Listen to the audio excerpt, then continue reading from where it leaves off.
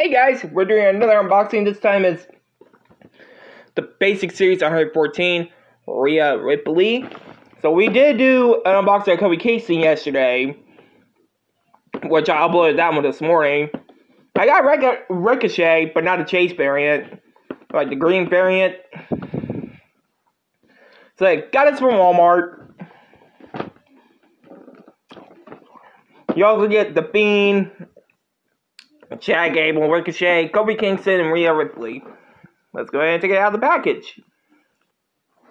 I also forgot this is her first time in the line figure, but for some weird reason does not say first time in the line.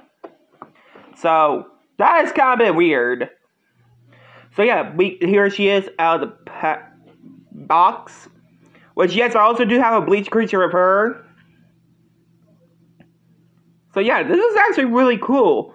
So yeah, um, if you guys didn't check out the Kofi Kingston one, like I said, that I unboxed yesterday to film it uploaded this morning.